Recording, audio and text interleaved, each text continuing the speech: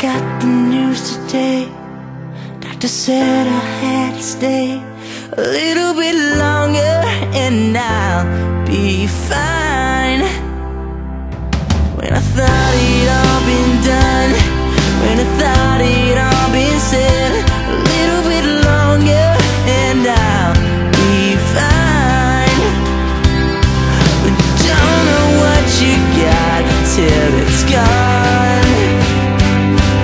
to